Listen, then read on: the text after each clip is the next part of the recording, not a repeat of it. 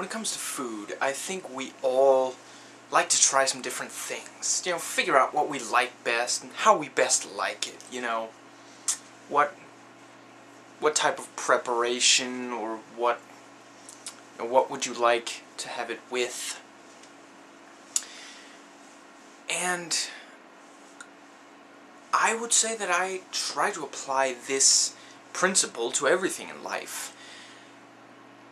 And I think basically everyone should at least try to. I'm, of course, referring to religion most mostly here. Anyone who follows a religion, if you love it so much, then won't you just return to it if you try something else? If you try either a different religion or not believing in a religion at all?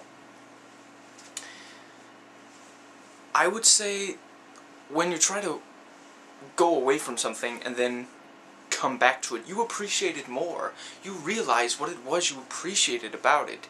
And maybe you won't go back to it because you'll realize you don't really like it. It was just kind of there.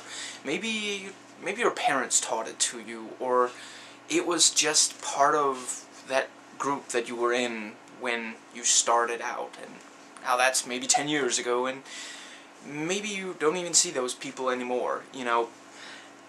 You shouldn't do something just because it's the only thing you really know of you know.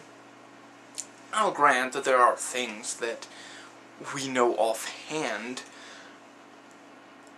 You know being a straight guy, I realized that I wouldn't enjoy having sex with a man, but other than that, other than those kind of things,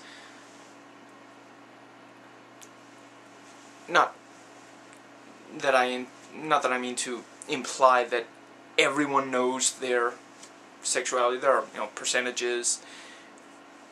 Excuse me. And I also hope you don't interpret this as me trying to offend homosexuals or anything. Anyway, other than these very specific things, with a lot of things, we don't know what we'll like before we've tried a lot of different things, and this makes us appreciate what we like all the more, because suddenly you can think, well, it certainly isn't that other thing that I can't stand, you know. So, yeah. That's it for this one.